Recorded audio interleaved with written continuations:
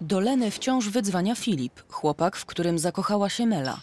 W imię przyjaźni Lena postanowiła, że nie będzie się z nim spotykać, ale ten się nie poddaje. Dobra. No to pa. A nie, Kasia, poczekaj, wyślij mi tą nazwę tego sklepu z sukienkami. Może bym sobie coś zamówiła. Dobra. Dobra, to papa. Kasia do nas padnie. O kurde, ja idę na trening.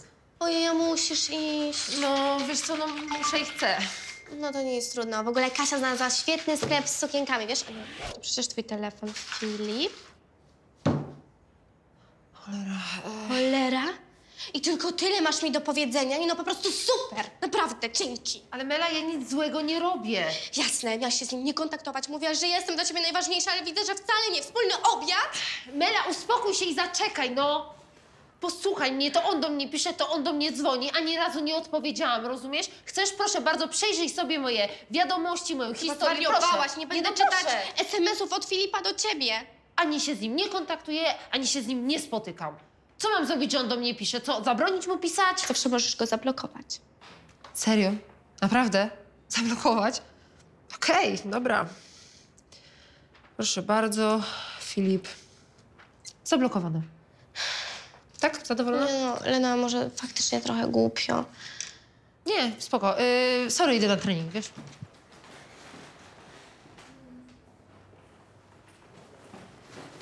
Cześć.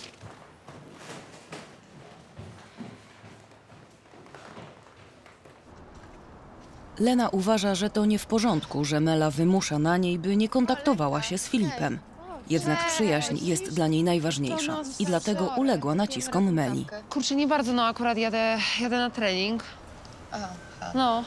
Co się dzieje? Nie, nic. Dobra, pokłóciłam się z Melą, jestem na nią zła. Znowu się pokłóciłyście? Tak, jasne, o Filipa. No. Oczywiście, że o Filipa. No bo no, kurczę, no on do mnie pisze i dzwoni, a Mela to zauważyła i kazała mi go zablokować. O, przepraszam, jakiś nieznany. Halo?